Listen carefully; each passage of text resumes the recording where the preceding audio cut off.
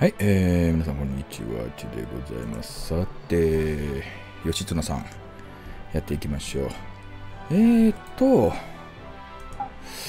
えーっと、あ、そうだ、これね、いろんなとこ行こうもで行ける。あ、ここは無理か。ここでも行こうもで行けるんですよね。結構、この、あの、採取、鉄鉱石？いや、砂鉄か。砂鉄採取するのに、こんな山の中とかね、行ったりできますんで。えーと、あとは、そうだね。とりあえず目標は松倉城。で、あと外交だね。あ、でもその前に石山行かないといけないのね。石山に行くので、鶴は町寄ろうか。ああ、これ多分ダメなやつだ。うん、もう微妙じゃな。価値があるようにも見えるしない。うわー、わかんない。いや、でもね、まあいいや。多分ダメなんですよ、あれ。たまにはあるんですけど、あの、なんか見覚えがある、あの、何でしたっけ、あの、えっ、ー、と、今の茶器の。ちょっとなんか南蛮、南蛮っぽいような感じですよね。石山に行くから堺行って見てもらおうかな。でも今の茶器だったと思うんですけどね。えー、よいしょ。さあ、えー、っと、座で、まず売却ですね。はい、卸18巻。で、漆器13巻。9巻で買ったのかな。10巻ぐらいか。で、あ、ここ紙が安いんですよね。で、京都行ったら高く売れると思うんで、あと俵物ね。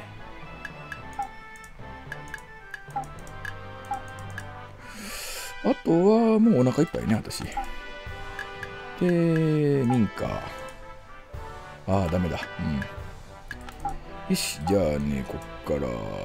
そういや、結婚しちゃったらもう女の子出てこないのかな？宿やね。座に行って売却。紙19安いな紙は24、20巻超えないとちょっと嫌だね。俵物、あ、でもここね。ここはね。ここはね。あ、でも今から、あ奈良寄っていこうか。奈良寄ろうか。あ、でも奈良寄ったら、宇治ちゃちゃちゃ。あ、宇治は京都か。怒られるわ。で、あかねさんはもう積み切れないので、ここはあかねさんやめときましょう。かあの、あかねさんのね、値段が上がっちゃうので、あとは、ちょっと奈良寄っていきましょう。紙大阪じゃ売れないんでね。あ売れるんですけど、安いんで、じゃあ28巻ね、やっぱり紙は22巻ぐらいまでいってほしいですもんね。ね。うん。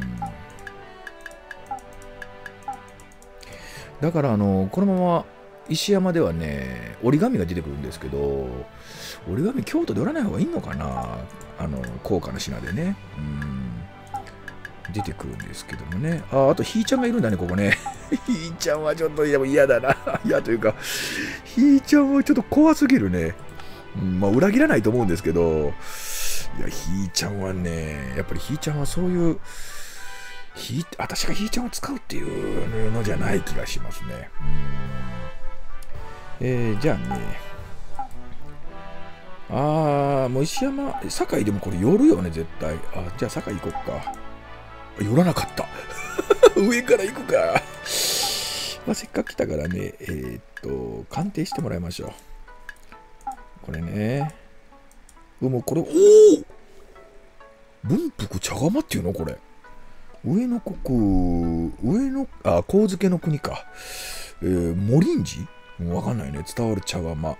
組んでも組んでも湯が尽きないと不思議な伝説を持つ。この釜を持ち込んだ。何これ、主家交渉？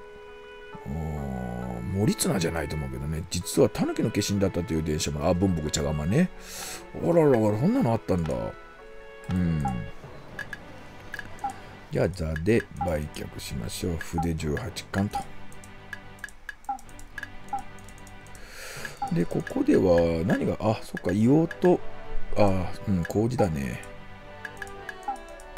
もうほんと麹は序盤ではもうむちゃくちゃ優秀なんでね。あと針。ねえ、うん。で、えー、だから、太鼓さんでやった時にはもうまずは針ですね。まずは針を打って、8巻で買って15巻で売れるんでね。ただちょっと重いんですけどね、10だけ重い。で、あとまあ、大阪の方だったら麹だね。序盤はね、金ない時は。うん、っていう感じで私は思ってましたね。あとは、これかな。まだ持ってる？私は。もうちょちょっとしか持ってないのよね。まあ、いいか。うん。いよ、いよなんかしばらく来ないからね。うん。じゃあ行き、あ、待って。堺って女性いなかったっけ？あ、でも、名簿にあるからいるよね、絶対ね。これ。ここに。んこうか。こうだね。娘でいるからね。ああ、みおさんいるよね、これね。宿屋泊まるでしょ？で、みおさんがいて、いっぺん泊まってみましょうか。何泊？うん、1日だけ泊まりましょう。お何これ、重婚できんの？おお、贈り物ね。読んじゃダメなんだね。5あげないといけないんだね。驚いちゃった、本当に。えー、まあまあ、大真珠をあげておきましょう。まあ、あれのね。奥様がいらっしゃるのに私のね、お気づかなさなくてよろしくこれはダメなやつだ。これは入ってこない。重婚無理か。怒られるね。うん。ならば、あのセリフが出るということはもうダメなんだね。で、あ、あなたは古田茂輝さん。うんこの人もよく見ますね。え、えー、っと、じゃあね、宿屋じゃない。ごめんなさい。宿屋じゃございません。民家だね。細川さん。あ、いないの？せっかく当てにしてきたんだけどね。売却ね。硫黄19巻ダメだね。針を、あれ安い。あ、まあ、麹の10巻はいいですね。麹の10巻はいいんですけど、他が安いですね。うん、じゃあ、このままどうしようかな。まいったね。あ、そっか、ここ紙売ってるんだね。そうだ、大阪では紙売ってるんだわ。大阪って紙有名だったっけ？別に、紙が有名だったっていうのはないけどね。うーん。だらば、えっ、ー、と、出ていって、本願寺ね、本願寺と目結びたいなこれ出先だもんね、本願寺。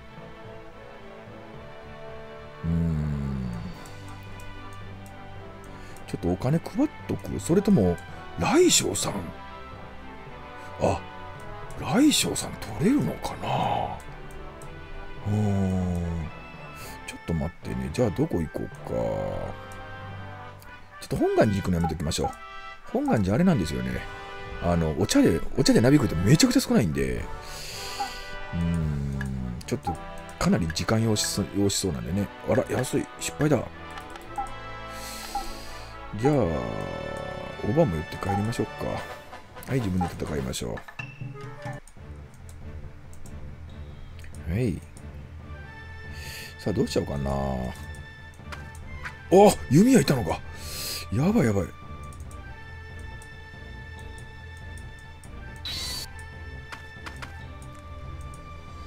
ちょっとこういう感じでね、いっておきましょう。あ、よけられちった。いや、いいよ、もうこれ使っちゃうからね、天をね。あ、の、分身もいいね。分身面白かったもんね。え、弓の、え、二人残ったの？ちょっとごめんなさい。食らっちゃったね。うん、とりあえずやっつけるか。うん。で、ここで、えーと、傷薬を使いましょう。で、こんなもんかな？あれ？違った？あ、逃げようとしたんだね。逃亡って今出たね。うん。はい、えー、じゃあ、ザで、はい、売却ね。えーと、あ、イオ30巻ね。うん、これぐらい言ってくんないと困りますね。で、針。あ、亀山でなんか物変えたね、これ私。青さだっけ？青さ？青さか。なんかかあ、エゴマか。エゴマか青さか買っとけばよかったね。エゴマと青さがね、私の中でごちゃごちゃになるんですよね。いいもんがないね。イワシぐらいか。イワシと里芋ぐらいかな。いやでも2度目から解放されたんでね、すごい気が楽ですよ。うん。敦賀はさっき寄ったので、朝倉家一条谷城。あ、朝倉か、ここ。ちょっと待ってね。あ、私敵対してるのは、斎藤家と北条家だね。あ、今川か。あ、そうだ、今川にいるんだね。一人。あー、次行きましょうか。うん。とりあえず上杉と、上杉との同盟が一番、あれだね。最優先事項だね。はい。え、来翔さんいるんですよね、ここに。あ、どなたもいません。来翔さんね。ああ、来翔さんね。はい。えー本願寺の傍観、宝主、賢女の命で越前に赴き、一向宗門徒を、一向宗門徒を指揮して織田信長を苦しめたって。ああ、いい能力ですね。うーん、来翔さんと来蓮さんは関係あるのかな？うん。あ、そう、下妻だ。いつも間違えるんですよね。下妻っていうの読んじゃうんですけど。これお茶ダメだと思うんですよね。おー、来た？本当かい？もう一回会ってみよう。はい、人物情報。あ、1しか上がってないもんね。うん、手合わせできる？申し訳ございませんと。じゃあね、帰りましょう。あの1だけじゃ引き抜けできないでね。で、ああ、七里さんだ。えー、っとね、ここはどなたも、七里さん。えー、はい、入った。えー、っと、うん、こあいいね、この人もね、本当に。どんだけ喜んだ？ねえ、やっぱこんなもんだね。え、手合わせできますか？あ、できませんね。これは、これどうしよう。好みがわからない上にお茶飲んでちょっとしか上がんないっていうのはすごい時間かかるもんね。そうなったらやっぱり外交するか。うん。あのー、なんだっけ？本願寺とは戦うのはさやめましょう。さあ、じゃあ春日三条に向かって今、勢力ね、うん畠山家の神保とはいて上杉もそこそこあ松平ともいいんだなんかやったっけ？私松平に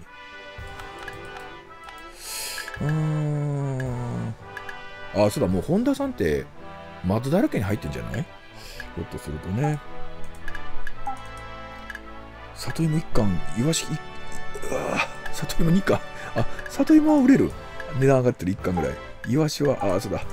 ここ港町だろうからね。うーん。購入ね。あ、漆があるね。うん。で、えー、あ、いやいや、売却じゃなくて購入ね。あ、それぞれ買ってもダメか。じゃあね、うん、春日三条に行きましょう。あなた誰？ああ、直江景綱さん？直江って名前ついてからね。ただ反応してしまったんですけど。はい、武家宅。うーん、好みは吉江さん以外に知ってんのか。あ、宇佐美さんいたね。あ、天かすさんから。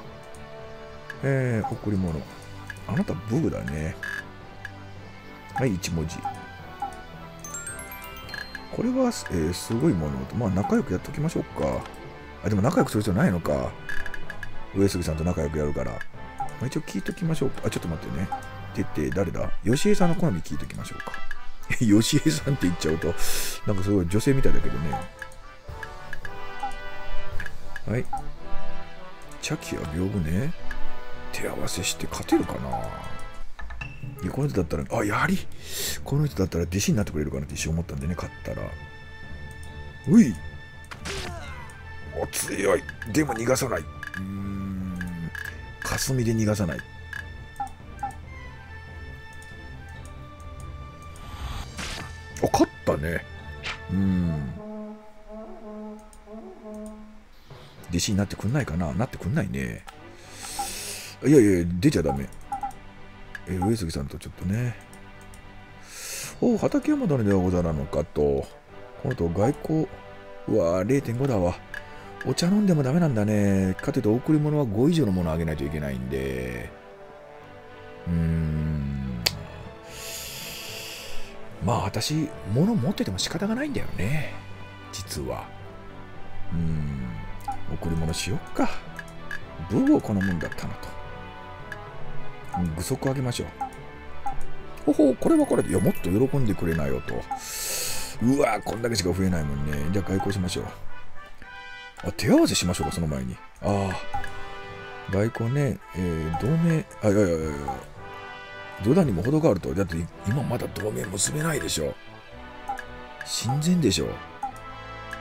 ああ、まずね。まず親善でしょ。まあ、1万3000円あげようかな。はい。はい。今後も、今後とも良き関係でありたいものでございますお願いしますよ、本当に。あまあ、上杉と本願寺に守られたらもう盤石だと思いますよ。うん。あとは、ああ、だいぶ下がったね。もうちょっと下げないといけないかな。よし、この調子でお金バンバン落としていきましょう。となると、うーん、会津の町に行って、南向いて帰るかな？ああ、そうだね。もうここら辺荒らしまくってんでね、あの、冷凍。荒らしまくってんでね、ちょっとお金儲けするためには会津とか回ってた方がいいかな。柴田城上杉家なので、ああ、シナさんね。ちょっと言ってみましょうか。はい。えー、っと。あ、もう17本もやってんね。じゃあね、この辺で終わっておきましょう。えー、それじゃあ終わっておきたいと思います。どうもありがとうございました。